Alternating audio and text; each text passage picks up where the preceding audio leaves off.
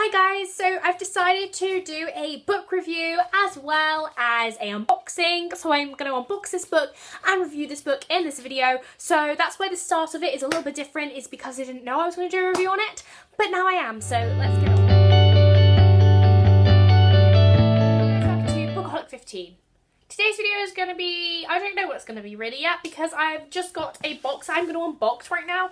But I know it will be a really short video so I might even add other clips and things to this video depending on what I come up with. But for now I'm just going to open this box and I so I don't know which one it is. I've ordered two books so I don't know which book it is but I have a kind of inkling which one it will be because I just do um and I'm going to open it this way because I don't want you guys to see my address. Um I think you open it this way. I never know with these sorts of boxes. This one has a pull tab thing on it Oh, I just hit myself in the face again. I'm really hopeless today. I've got, I know which one it is. And it's in pretty good condition. It is The Edge of Never by J.A. Redmerski. Redmerski? I absolutely adore this book. It's so pretty. And it's the best-selling self-published ebook. Love that, that it was a self-published ebook and has got so big that it's become its own book. I'm so happy for the author. Um, let's see when it was published.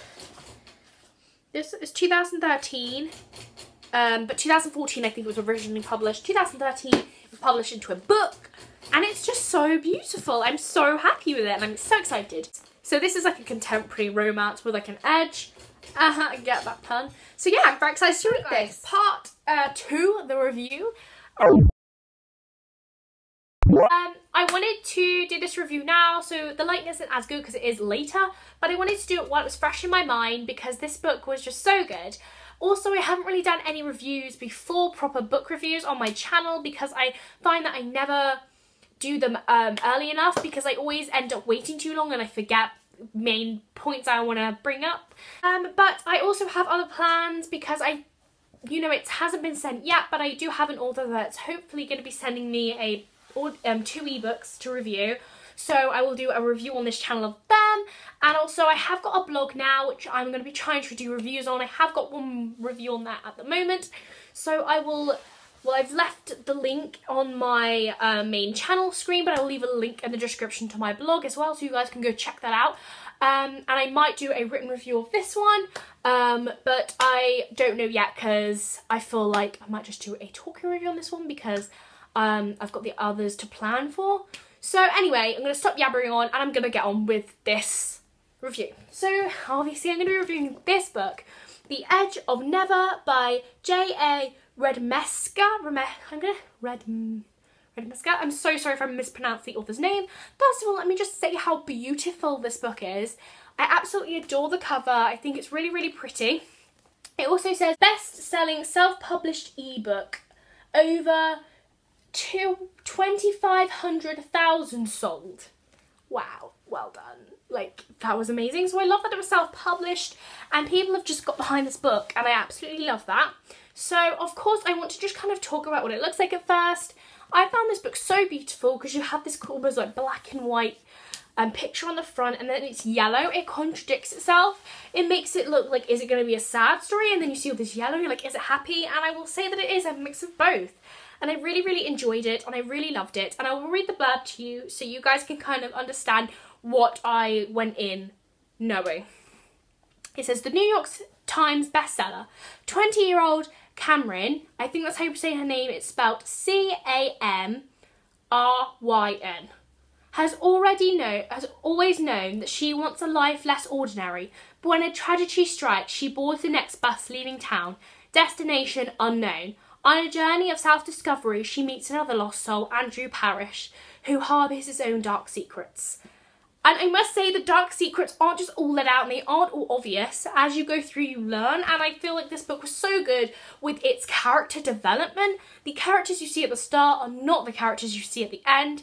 And overall, I will give this book a 5 out of 5 stars because I just loved it so much. So now I'm going to kind of talk about the characters and all that. And I have that written down. So excuse me if I keep looking down. So the main characters are Cameron and um, Andrew. And it does swap points of view, but not in the way like chapters. It has parts, so it'll be like five chapters from Cameron, five chapters from Andrew. Near the end, Andrew doesn't have as many like parts. Um, but I love the way it was written because you do get the points of view, but it's not in the bad way where it's like, oh no, I wanted to find out what was going to happen because it is just carrying on the story, just seeing what they're thinking about because they are pretty much together 24 7 in throughout the book. So it's not like you find out, it's kind of like you gradually learn more about each character and also they almost learn together. So those are the two main characters and I really love the main characters. Cameron at the start, you kind of, I don't know, she was a bit okay, decent. You kind of didn't know if you're going to connect with her. But I felt as we went through, we learned more about her. She like kind of let her walls down a bit so you could learn more about her and I really, really liked her as a character. Then we have Nat and Damon. Well, Nat is Natalie, I call her Nat. Natalie and Damon. Natalie is Cameron's best friend and they've known each other for ages and Damon is also a friend of Cameron but is Natalie's boyfriend. And at the start there's this whole trouble with the whole relationship thing and I found I loved that the friendship how the friendship worked because it felt very real um, and it felt like it wasn't like sugar coated it was really really decent. I really liked it and I loved the way it went. Um, and Damon I liked that the way they did it because you didn't expect that to happen at the start of the book. It was kind of like, wow, that just jumped right in there. Also, we meet Blake near the start and we also see Blake near the end. Um, so I really, I liked his character. We didn't really know much about him, but it starts off pretty good. Blake's a nice guy. We also then have um, Asher and Ma Marna? Marna? Marna is um, Andrew's mother and Asher is his younger brother. I really liked how we got to learn about the characters and how we saw them in different places and them connected and I really liked that. And I found his mum really sweet, really nice and I loved that.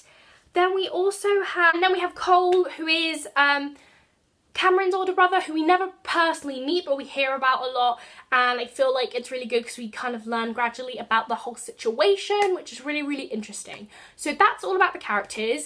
Um, I don't want to spoil too much, there is just minor spoilers in this, but I loved the way it built itself up. We go on this long journey, and I'm going to kind of give a few minor spoilers that aren't really um, major spoilers, just kind of giving you a bit more of an idea about it.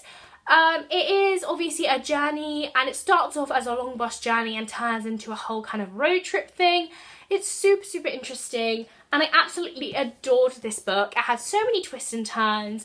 I found myself at the edge of my seat. Also, I found myself enjoying it, laughing and really like investing in these characters. And I liked how realistic these characters were. I liked how they, I liked how this couple was as well because they aren't like the couples that are like they tell each other how they're feeling. Like they don't just like bottle it in for like chapters and chapters. You kind of hear about how they feel and then a few pages later it kind of is opened out and it's in the air and like everyone knows about it, which I really loved because things were fixed quicker because they weren't stupid and like, oh, I've got to like, you know, I felt that they were sensible and they weren't an irritating couple and I really, really loved that that.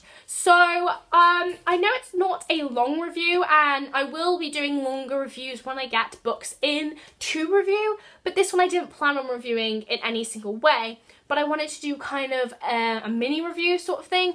I will tell people at the start of this video there are minor spoilers I feel like I might have had minor spoilers in there, but nothing that was too major or spoilt the book. Um, but yeah, so this is just a short review, just one that I thought, you know what I'm going to do now. Um, so hopefully you liked it, but the reviews I will have coming up are actually going to be a lot longer um, because I'll be taking notes and all that kind of stuff while reviewing them. So I hope you enjoy these videos. Thank you guys for watching. And please subscribe, like, comment. Bye!